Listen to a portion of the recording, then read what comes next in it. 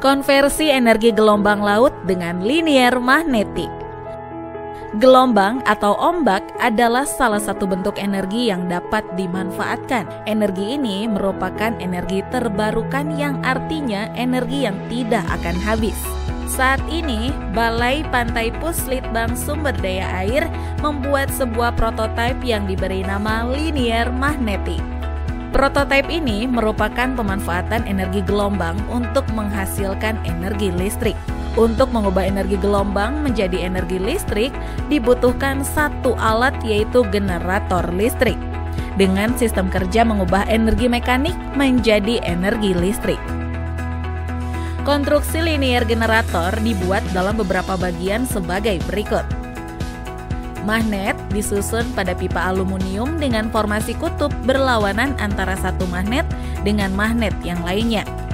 Di antara magnet dipisahkan oleh separator dan konstruksi ini pada generator dinamakan stator.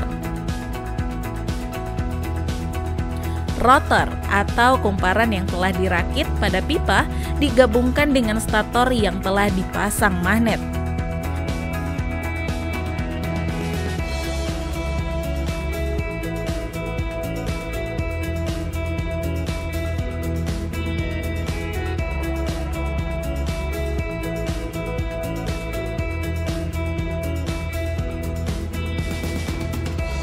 Pelampung disatukan dengan rotor dan pelampung ini yang akan menggerakkan rotor bergerak naik turun.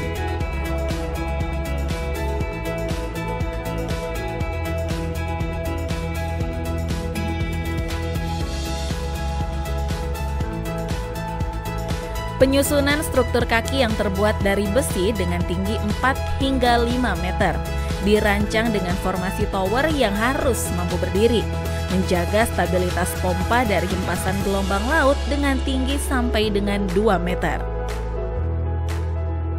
Prototipe linear magnetik ini sudah dipasang dan diuji di pantai Santolo Garut.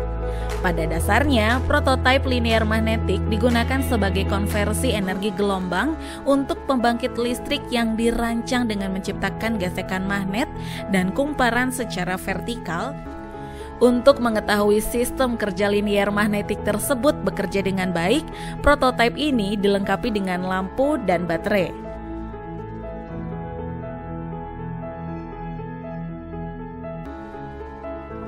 Listrik yang dihasilkan dari proses gesekan antara magnet dan kumparan secara vertikal akan dialirkan ke baterai. Baterai tersebut berfungsi untuk menyimpan listrik sebelum dialirkan ke lampu listrik yang tersimpan dalam baterai akan dialirkan ke lampu agar lampu dapat menyala secara stabil.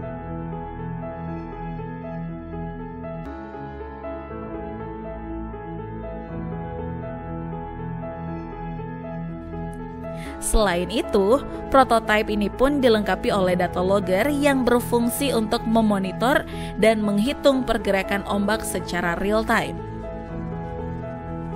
Dari hasil pelaksanaan pemasangan prototipe dari indikator yang ada, hasil pengukuran pada saat di lapangan bahwa kondisi generator bekerja baik.